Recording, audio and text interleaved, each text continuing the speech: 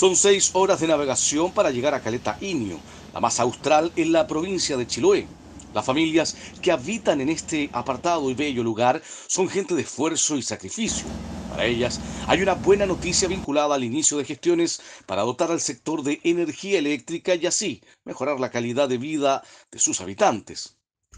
Bueno, una importante reunión sostuvimos aquí en la Seremía de, Energía con la Ceremi, que le agradecemos justamente esta invitación de trabajo con el programa Rezago Gobierno Regional y nuestros equipos técnicos para ver y sacar adelante el proyecto de Caleta y Nío que evidentemente tenemos que tener la factibilidad del Ministerio de Energía para avanzar, que está en el Fondo Nacional de Desarrollo Regional.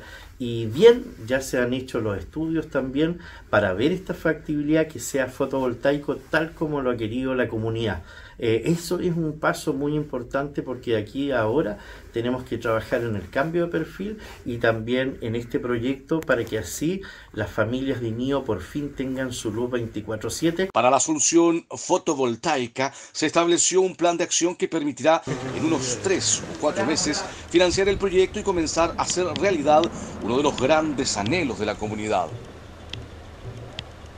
Este es un compromiso de varias instituciones, el gobierno regional, Ministerio de Energía, Subdere y el municipio para poder, y también empresas privadas para poder llegar con una solución definitiva que permita entregar dignidad a estas comunidades. Son 40 las familias que serán beneficiadas con el servicio, una vez se cumplan los plazos, acciones e inversiones que le cambiarán la vida, sin duda, a los esforzados habitantes de Caleta Inio.